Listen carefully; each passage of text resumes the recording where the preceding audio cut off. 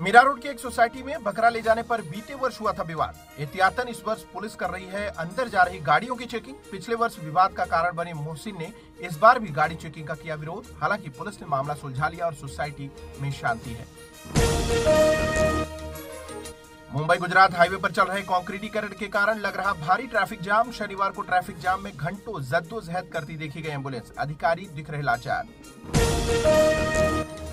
मुंबई से सटे बसे विरार के वालिब में बड़ा हादसा। वालिब स्थित फादरवाड़ी की एक खदान में नहाने के लिए उतरे। पाँच बच्चों में से बारह वर्षीय दो बच्चों की मौत, तीन लापता। मृतक बच्चे नाला सुपारा के संतोष भुवन और राशिद कंपाउंड इलाके के निवासी थे। मुझे लगता है कि मेरे हारने के बाद जब प्रधानमंत्री नरेंद्र मोदी ने पीएम पद की शपथ ली तो मैं जीत गई। बीजेपी सरकार बनने पर नवनीत राणा ने दिया भावनात्मक बयान। कुवैत में भीषण अग्निकांड में मारे गए 45 भारतीयों में से एक व्यक्ति डेनी करुणाकरण का पार्थिव शरीर शनिवार को तड़के मुंबई लाया गया, जिसे मालवानी स्थित शवगृह में रखा गया है।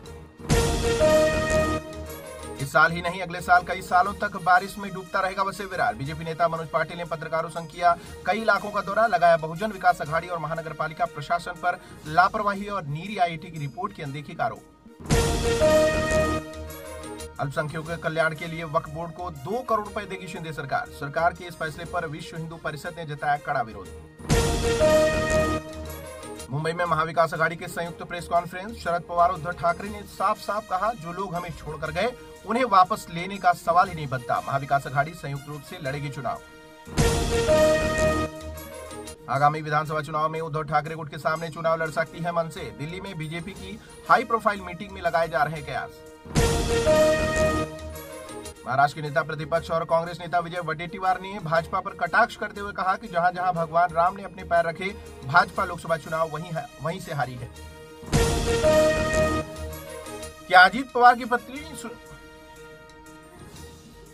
क्या अजीत पवार की पत्नी सुनेत्रा पवार बनेगी? केंद्र में मंत्री, महाराष्ट्र के बारामती में एनसीपी नेता और उप मुख्यमंत्री अजीत पवार की पत्नी सुनेत्रा पवार के राज्यसभा नॉमिनेशन के बाद सुनेत्रा पवार के भावी केंद्रीय मंत्री होने के लगे पोस्टर। लोकसभा चुनाव 2024 के दौरान मुंबई की नॉर्थ वेस्ट सीट पर हुए बवाल पर मुंबई पुलिस एक्शन मोड पर है। मुंबई पुलिस ने शिवसेना शिंदे गुट के सांसद रवि वायकर के रिश्तेदार के खिलाफ एफआईआर दर्ज की है।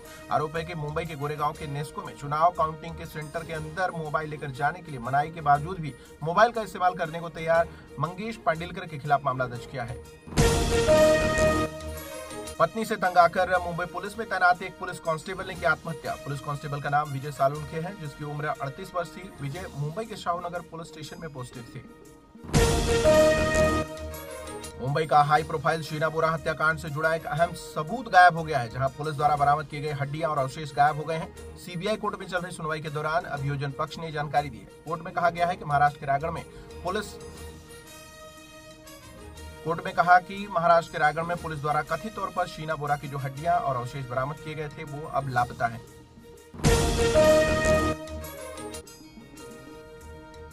नारासुपारा के धानी धानीबाग इलाके से सामने आई महावितरण की बड़ी लापरवाही बिजली के खंभों में उतर रहा करेंट, शिकायतों के बाद भी अधिकारी नहीं ले रहे संज्ञान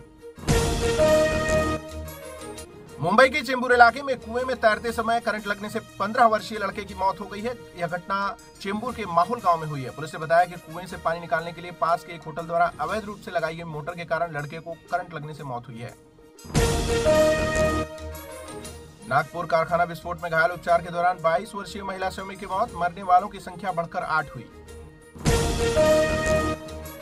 अवई के जय भीमनगर में बीएमसी के अतिक्रमण विरोधी अभियान पर भारत के चुनाव आयोग की आचार संहिता का उल्लंघन करने का आरोप। कार्यकर्ताओं ने बताया कि बीएमसी ने आचार संहिता हटाए जाने से पहले ही अस्थायी बस्तियों को ध्वस्त कर दिया और निवासियों को आचार संहिता पर निर्देशों का उल्लंघन हुआ है। घटना बीते छह जून की है, जब बीएमसी ने अस्थायी 600 झुग्गियों को ध्वस्त कर दिया था। मुंबई में बासठ में से 60 होर्डिंग्स को नहीं मिली है मंजूरी। महाड़ा द्वारा किए गए सर्वे में हुआ खुलासा।